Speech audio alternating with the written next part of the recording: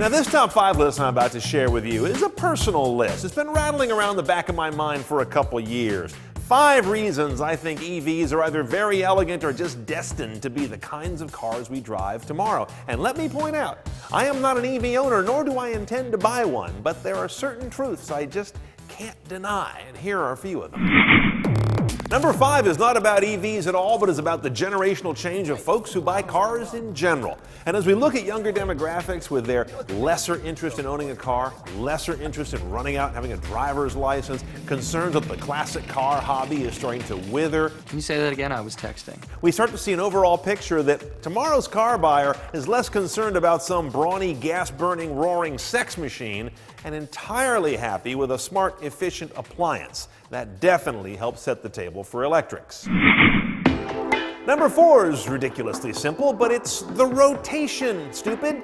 That's what a car wants to do is turn its wheels. That's how it moves. And yet, the combustion engine car does kind of the opposite to start. It has pistons going up and down, and then through a complicated mess of gears and crankshafts turns that into rotating energy. It's just so inelegant. You have all these pistons banging up and down in a box of high pressure that's always trying to leak and pull itself apart. Electric motors don't work that way. Plus, combustion engines, partly because of that whole up and down nonsense, are RPM challenged. Electric motors love to rev over a much wider range. Therefore, they need little, if any, help from a multi speed transmission. It just makes sense. If you want to turn something, start with a power source that's already turning.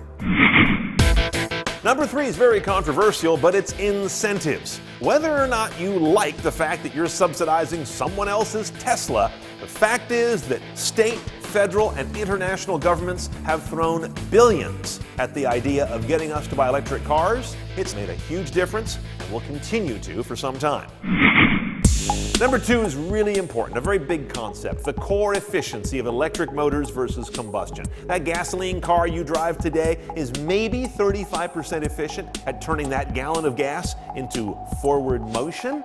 Electric cars, depending how you measure them, are 50 to 90% efficient at using the electricity in their battery. Now, yes, this is apples and oranges because EVs have to lug around a vast, incredibly heavy battery, which does offset some of the overall efficiency. However, new numbers from the Argonne National Lab suggest that at least the density of cars powered by battery versus dinosaur juice will be about the same by 2045.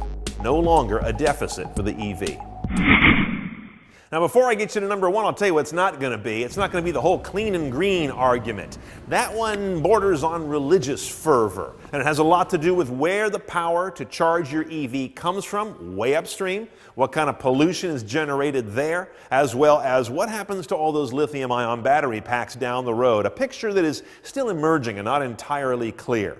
To solve this one, I should probably arrange a cage match between Sierra Club members and Formula One fans. Maybe we'll do that later, but for now, we're going to leave this part aside.